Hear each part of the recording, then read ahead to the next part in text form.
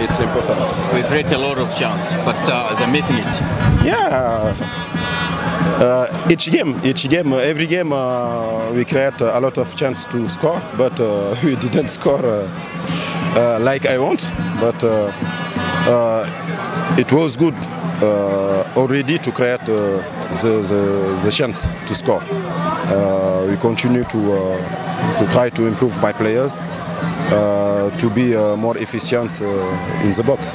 Apart from this game, on behalf of your uh, team coach, team doctor, what is going on about the Yannick injuries?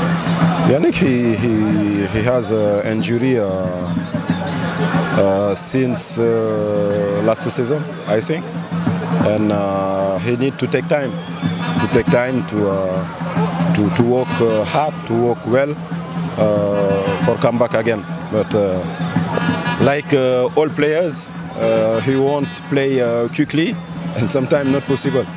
Um, but uh, in this moment, I think uh, he uh, he understood uh, this situation, so uh, he take time to work well and uh, come back uh, better. Thank you. Thank you.